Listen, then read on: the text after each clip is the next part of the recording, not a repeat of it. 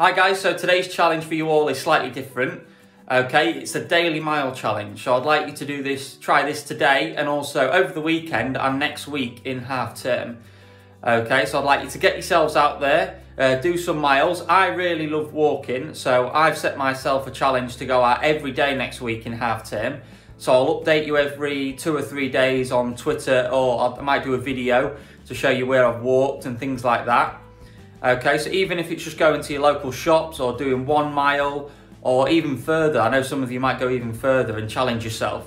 Okay, so next week I'm going to tally up my miles and I'll let you know how many miles I did by the end of next week. So on Friday next week, I will do a little video to let you know how many miles I've done.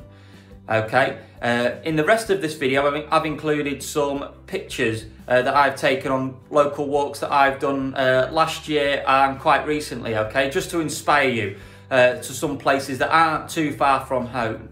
Okay, so if you'd like to know where some of these places are, drop me a comment in this video and I can let you know, okay? I've also added some links below to um, some websites that you can have a look for local walks around Grimsby and Cleethorpes. Okay, guys, enjoy and have a lovely half term. See you soon.